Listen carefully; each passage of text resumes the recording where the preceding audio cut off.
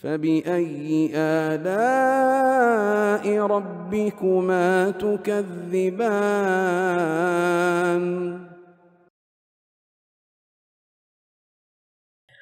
Ustaz mau bertanya tentang talbiyah pada saat umrah.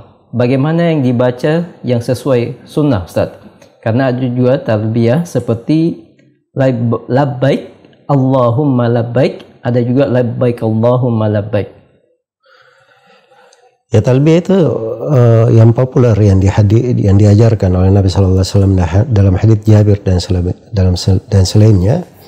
Rasulullah Shallallahu Alaihi Wasallam mengajarkan labbaik Allahumma labbaik labbaik la syarika lak labbaik innal hamda wan ni'mata laka wal mulk la syarika lak jadi setiap dari talbiyah itu potongannya dimulai dari labbaik karena labbaik itu artinya uh, apa namanya ulabbi ulabbika talbiyah ya ulabbi ulabbika talbiyatan labbaik begitu jadi seakan-akan dia mengulangi dari talbiyahnya nah, itu cara bacanya yang paling bagusnya sesuai dengan makna tapi yang populer itu di orang-orang dia baca labbaik Allahumma labbaik labbaik la syarika lak labbaik innal hamda wan ni'mata lak wal mulk la syarika lak. Itu juga enggak apa-apa sebenarnya. Tapi kalau dengan bentuk yang pertama tadi itu lebih afdal. Labbaik Allahumma labbaik labbaik la syarika lak labbaik innal hamda wan ni'mata lak wal mulk la syarika lak.